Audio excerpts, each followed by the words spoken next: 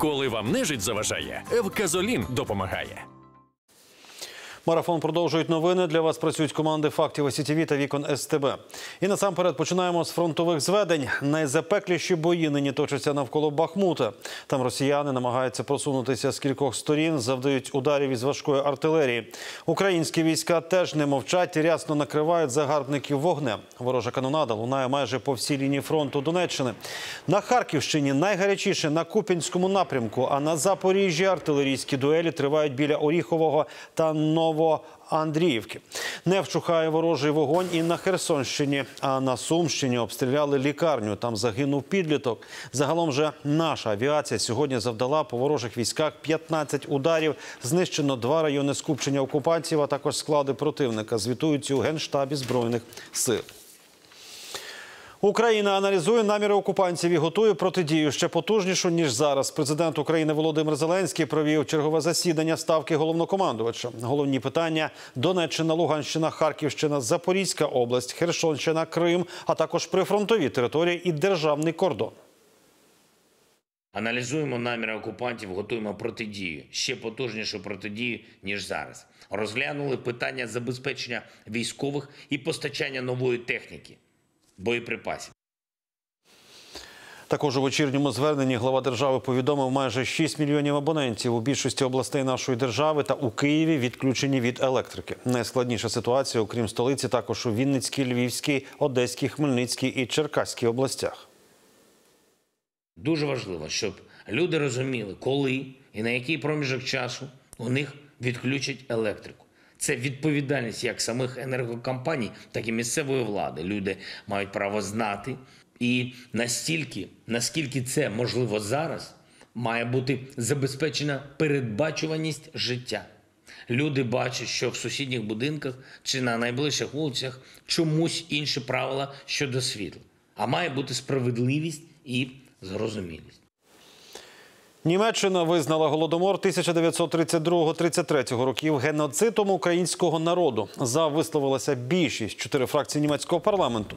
Дві, зокрема, ліві, утрималися у документі, який складається з чотирьох сторінок. Зазначено цитую: масова смерть від голоду не була результатом неврожаю, а відповідальністю політичного керівництва СРСР за Йосипа Сталіна. Голодомор злочин проти людства. Наголошується, що СРСР використав голод як додаткове покарання та був спрямований на політичне придушення української національної свідомості. Президент Володимир Зеленський назвав рішення Бундестагу важливим сигналом іншим країнам світу, що російському реваншизму не вдасться переписати історію. Нагадаю, вже понад 20 країн визнали голодомор 32-33 років геноцидом українського народу. До 10 штурмів за день відбиває легендарний підрозділ К-2, який тримає ділянку фронту на сіверському напрямку Донеччини. Там проти наших оборонців воюють найманці Вагнера. Так вони самі себе називають. Насправді ж це вчорашні ув'язнені, яких із тюрми відправляють на війну. Двох таких українські воїни нещодавно взяли у полон. Що вони розповіли нашим бійцям під час допиту, та як українські воїни відбивають навалу ворожої піхоти. Тетяна наконечно далі. За роботою наших танкістів їдемо спостерігати на багі. За нинішньої погоди це єдиний транспорт, яким можна туди дістатися. Шлях наш пролягає через Сіверськ. Тут досі живуть люди, але на вулицях їх рідко побачиш. Хоч і бахкає менше у порівнянні з літом, але без крайньої потреби звикли не виходити. Розібрані російськими снарядами приватні обійстя, випалені багатоповерхівки. Простіше порахувати, скільки вціліло. Танкісти серед поля вже чекають на координати, де засіли московити. Ми розуміємо, що в піхоті там складніше. І коли потрібна наша підтримка, Спершу приліт і лише потім чути звук виходу. Тому шансів сховатися від танкового снаряда чужинці не мають, а тим паче техніку відкотити.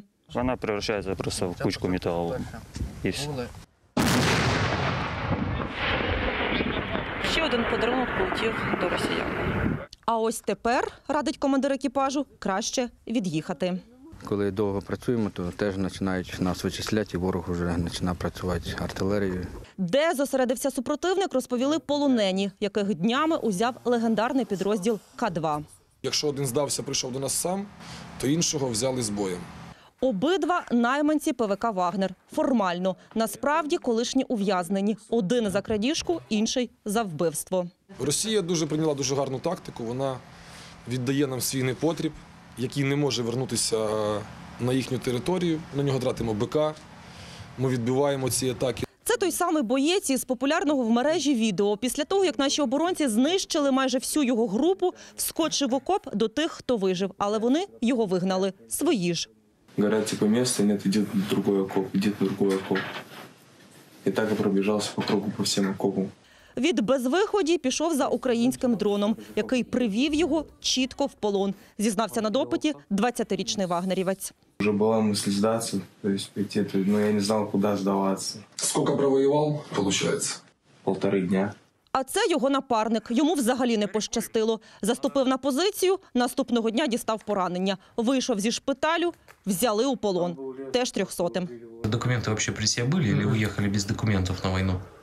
Уехали без документов. Горизонт на сіверському напрямку гримить без упину. Ворог, як завжди, намагається вибити наших збройників вогневим валом. Потім кидає свою піхоту. І потім десь ну, цілий день, сутки, мабуть, навіть лізуть з усіх боків, намагаються прорватися. Піхота наша, хлопці зі сталевими нервами та не тільки тримаються. А ми будемо підтримувати їх вогнем і палити всіх до останнього.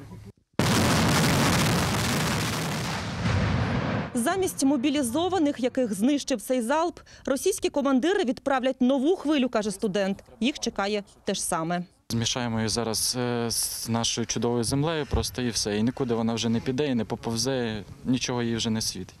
Із Донеччини Тетяна Наконечна, Ігор Шатайло та Захар Комах. Факти ICTV. Єдині новини. 32 черкащан, які від квітня зникли безвісти або потрапили в полон поблизу Попасної на Луганщині. Тоді там було гаряче. Про них впродовж семи місяців жодної звістки. Рідні ледь не божеволюють від невідомості і невтомно борються за повернення героїв, більшість із яких вважають безвісти зниклими.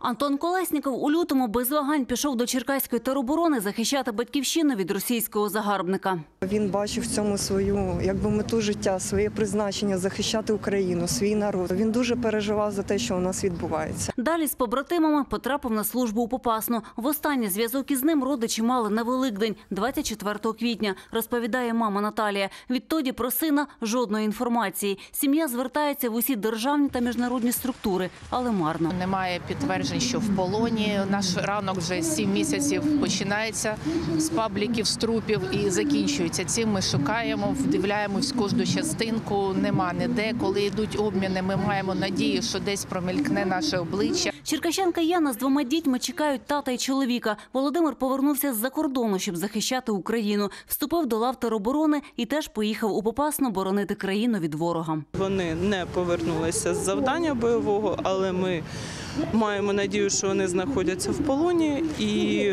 маємо надію на те, що їх обміняють. Маємо надію на те, що тобто, наша мирна акція допоможе нам якимось чином е, допомогти хлопцям найшвидше повернутися додому. Поверніть полонених додому! Як і в інших містах України, у Черкасах рідні безвісти зниклих і військовополонених вийшли на мирну акцію зі світлинами героїв і гаслами проханнями повернути їх додому. Тут кількасот людей з усієї Черкащини та сусідніх регіонів.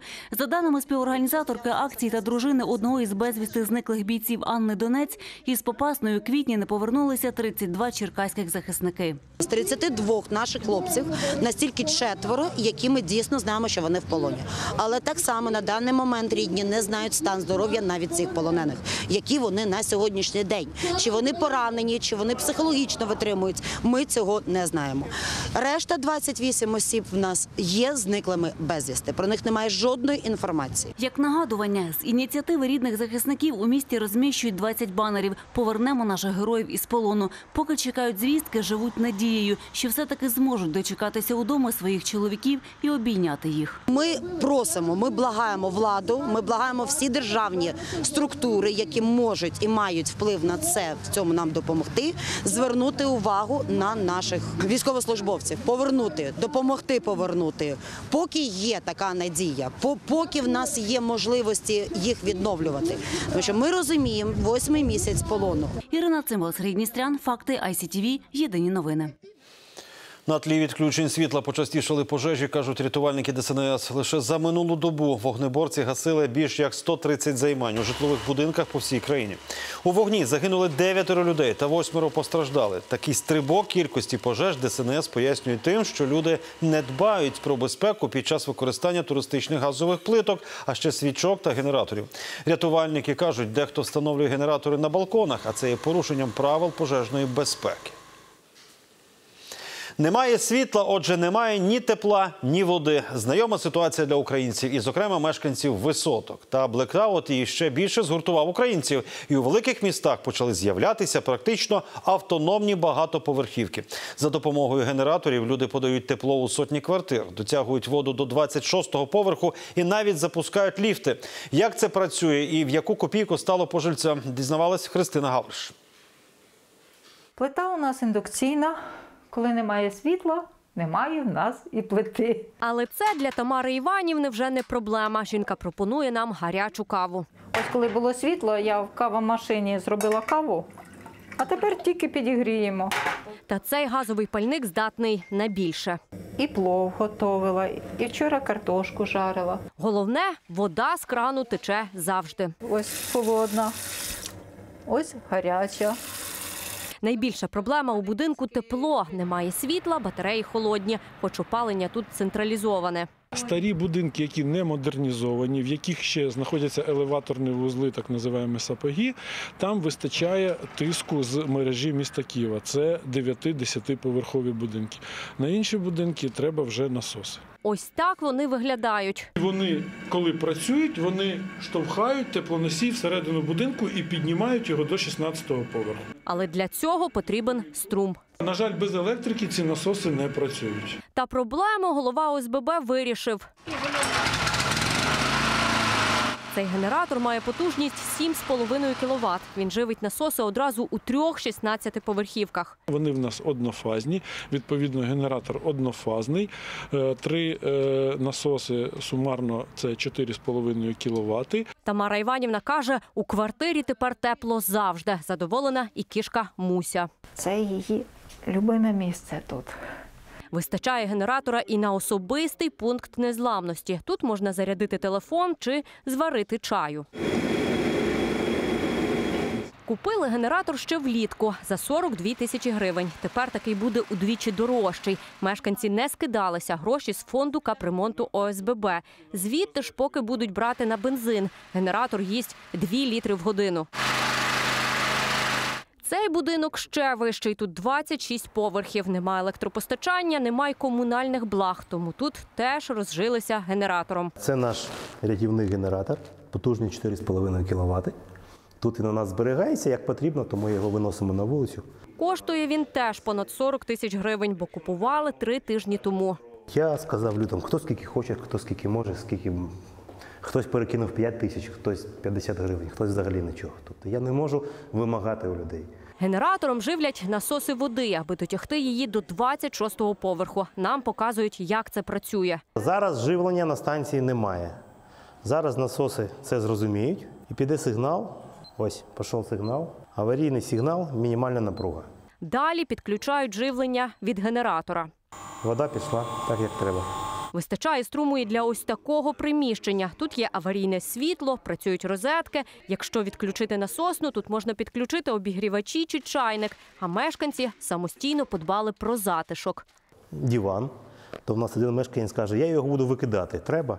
Це пуфи завдяки нашому мешканцю. В нього був бізнес, але після одного з прильотів, на жаль, цей бізнес закрився, бо там все зруйновано. Генератор тестують вже кілька днів. Без перерви він може працювати 12 годин. Споживає 3-3 літри бензину на годину.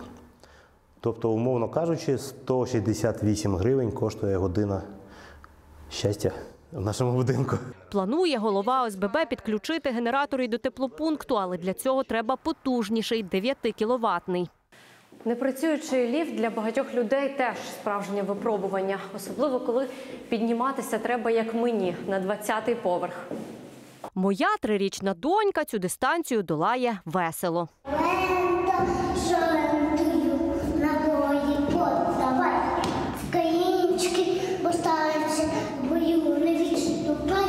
Людям поважного віку важче.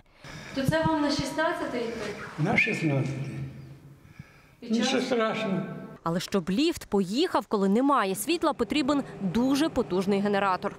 Але в Києві такі будинки вже є. Ось таке відео гуляє в інтернеті.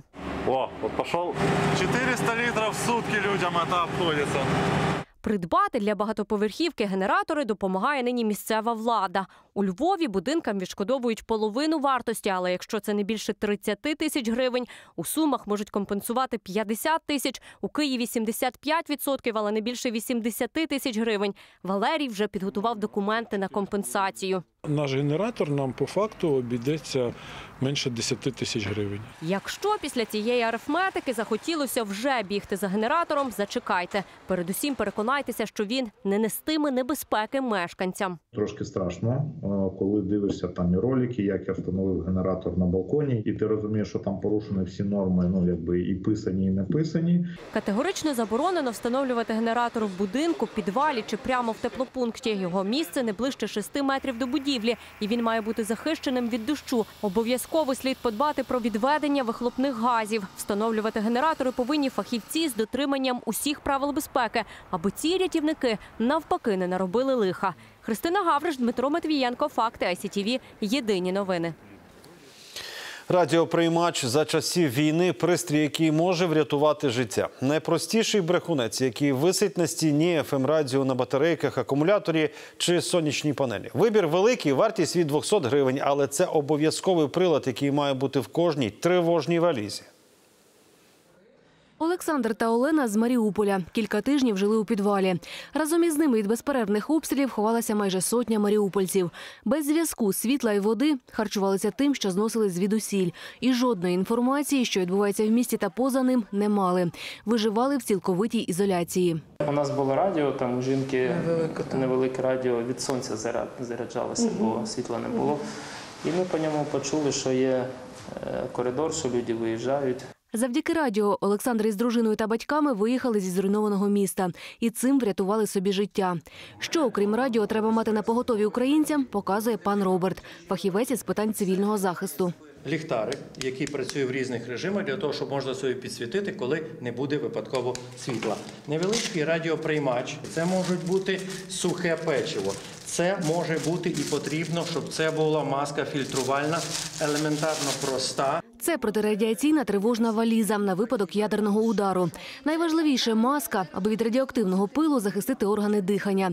Приймач потрібен, аби знати, коли можна безпечно вийти зі сховища або почути про місце і час евакуації. Бо в разі ядерної атаки в герметично зачиненому приміщенні доведеться сидіти добу й більше. Надійним зв'язком тоді буде не телефон, а найпростіший радіоприймач, запевняють у ДСНС. Якщо враховувати е, досвід такий Херсонщини, наприклад, де не було взагалі мобільного зв'язку, не було світла, то оці радіоприймачі, які були у людей, вони реально е, давали зв'язок зі світом, тому що радіомережа у будь-якому випадку вона спрацьовувала. ФМ приймачі нині дефіцитні. Їх масово почали купувати ще перед війною. І кожна потужна ракетна атака наступного дня створює ажіотаж, розповідає Роман. Тоді як із доправленням проблема. Порти в Одесі заблоковані. Вести товари з Китаю складно та дорого. Приймачі постачають через Європу і вартість зросла удвічі. В районі 200 гривень це отакі прості кишенькові, до, наприклад, е, таких більш потужніших, які вже мають підтримку USB-флешки там е, з дисплеєм, наприклад, 700 гривень. Радіо з ліхтариком найпопулярніша модель. Коштує понад 400 гривень. Сучасні приймачі працюють від акумулятора. Вони вигідніші, ніж ті, що живляться від батарейок. Їх вистачає на 15-20 годин безперервної роботи. Якщо користуватися ощадно, без підзарядження можуть працювати до двох тижнів. Радіоприймач має кожна аудіоколонка. Радіо має таку здатність, що його хвилі проникають на десятки, то й сотні кілометрів. Це що, наприклад, якщо зруйнують ну, десь тут, на західній Україні, то, наприклад, теоретично сигнал може буде подати з центральної України чи, наприклад, навіть з-за кордону. Це, це от перевага радіо. Його досить просто буде прийняти цей сигнал. Окрім радіоприймачів, необхідний і найбільш ходовий товар ліхтарики та павербанки. Ці найпростіші речі можуть позбавити людей паніки, на час надзвичайної ситуації стати зв'язком із зовнішнім світом, ба навіть врятувати життя. Ірина Тимчишин, Олександр Макушак. Факти. ICTV. Єдині новини. Що ж, тримаємо зв'язок, тримаємося разом. Наразі це всі новини, але марафон триває. Залишайтеся з нами.